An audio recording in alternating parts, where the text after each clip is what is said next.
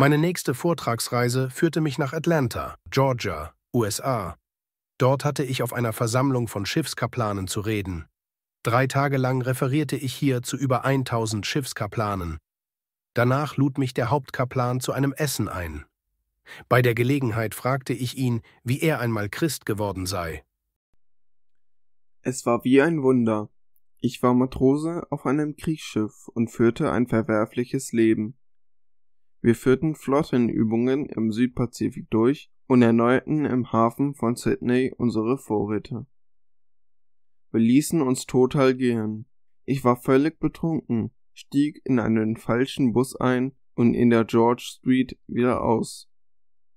Beim Aussteigen dachte ich, ein Gespenst zu sehen, als da ein Mann vor mir auftauchte, mir ein Traktat in die Hand drückte und sagte, Seemann, bist du gerettet? Kommst du in den Himmel, wenn du heute Nacht stirbst? Die Furcht vor Gott ergriff mich unmittelbar. Ich war sofort nüchtern, rannte zurück zum Schiff und suchte den Kaplan auf. Er führte mich zu Christus. Bald begann ich mich unter seiner Anleitung für den Dienst vorzubereiten. Nun habe ich die Verantwortung über tausend Schiffsgeistliche, die heute Seelen zu gewinnen suchen. Sechs Monate später flog ich zu einer Konferenz, zu der sich 5000 indische Missionare in einem abgelegenen Teil Nordostindiens eingefunden hatten. Am Ende lud mich der Missionsleiter zu einem einfachen Essen in sein kleines, bescheidenes Haus ein. Auch ihn fragte ich, wie er denn als Hindu zu Christus gekommen sei. Ich wuchs in einer sehr privilegierten Position auf. Im Auftrag der diplomatischen Vertretung Indiens bereiste ich die Welt. Ich bin sehr froh über die Vergebung und dass meine Sünde durch das Blut Christi abgewaschen wurde. Ich müsste mich sehr schämen, wenn man herausfinden würde, was ich so alles getrieben hatte. Eine Zeit lang führte mich der diplomatische Dienst auch nach Sydney. Ich erledigte noch ein paar Einkäufe und war beladen mit Spielzeug und Kleidung für meine Kinder. Ich ging gerade die George Street hinunter, als ein höflicher, weißhaariger, kleiner Mann vor mich hintrat, mir ein Traktat anbot und eine persönliche Frage stellte. Entschuldigung, mein Herr, sind Sie gerettet? Kommen Sie in den Himmel, wenn Sie heute Nacht sterben? Ich bedankte mich sehr, aber diese Sache ließ mir keine Ruhe. Zurück in meine Heimatstadt suchte ich unseren Hindu-Priester auf. Er konnte mir nicht helfen, aber er gab mir den Rat, zu einem Missionar im Missionshaus am Ende der Straße zu gehen, um meine Neugier zu befriedigen. Das war ein guter Rat, denn an diesem Tag führte mich der Missionar zu Christus. Ich gab den Hinduismus sofort auf und begann mich für den Missionarsdienst vorzubereiten. Ich verließ den diplomatischen Dienst und bin nun heute durch Gottes Gnade in der Verantwortung über all diese Missionare, die zusammen schon über hunderttausend Menschen zu Christus geführt haben. Acht Monate später predigte ich in Sydney. Ich erkundigte mich bei dem dortigen Baptistenpastor, ob er wohl einen kleinen, älteren, weißhaarigen Mann kenne, der Traktate auf der George Street verteilt. Er bestätigte mir, ja, ich kenne ihn. Sein Name ist Jenner, aber ich glaube nicht, dass er immer noch diesen Dienst tut, denn er ist schon ziemlich alt und gebrechlich. Zwei Tage später machten wir uns auf den Weg zu seiner kleinen Wohnung. Wir klopften an die Tür, und ein winziger, gebrechlicher, alter Mann begrüßte uns.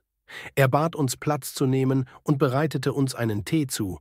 Er war schon so gebrechlich, und die Hände zitterten ihm derartig, dass er ständig Tee in die Untertasse verschüttete. Ich erzählte ihm von all den Zeugnissen der vergangenen drei Jahre. Dem kleinen Mann rollten die Tränen über die Wangen. Dann begann er mit seiner eigenen Geschichte. Ich war Matrose auf einem australischen Kriegsschiff. Ich führte ein verwerfliches Leben. In einer Krise kam es zum Zusammenbruch. Einer meiner Kollegen, dem ich übel mitgespielt hatte, ließ mich nicht allein und half mir wieder auf. Er führte mich zu Jesus und mein Leben änderte sich von heute auf morgen vollständig. Ich war Gott so dankbar, dass ich ihm versprach, jeden Tag mindestens zehn Menschen ein einfaches Zeugnis von Jesus zu geben. Als Gott mir wieder Kraft gab, fing ich damit an. Manchmal war ich krank und konnte den Dienst nicht tun, doch holte ich all meinen Rückstand auf, wenn es mir wieder gut ging. Nach meiner Pensionierung war dann mein Stammplatz auf der St. George Street, wo ich jeden Tag hunderten Menschen begegnete.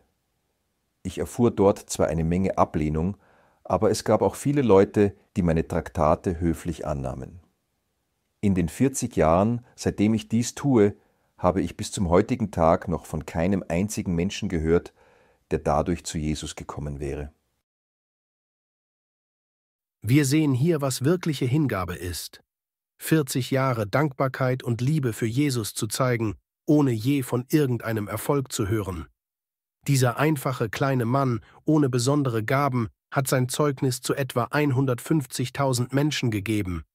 Ich denke, was Gott mir gezeigt hat, war nur die Spitze von der Spitze von der Spitze des Eisbergs. Nur Gott weiß, wie viele Menschen sonst noch für Christus gewonnen wurden. Mr. Jenner, der eine riesige Arbeit auf den Missionsfeldern geleistet hatte, ist zwei Wochen nach diesem Besuch gestorben. Können Sie sich den Lohn vorstellen, den er im Himmel empfangen wird? Ich zweifle, dass sein Gesicht jemals in einer christlichen Zeitschrift erschienen wäre. Niemand außer einer kleinen Gruppe von Baptisten in Sydney kannte Mr. Jenner, aber ich sage Ihnen, im Himmel ist sein Name berühmt. Der Himmel kennt Mr. Jenner. Was ist deine Antwort auf diese Frage, die der Mann von der George Street so vielen Leuten stellte? Entschuldigung, du, bist du gerettet? Kommst du in den Himmel, wenn du heute Nacht stirbst?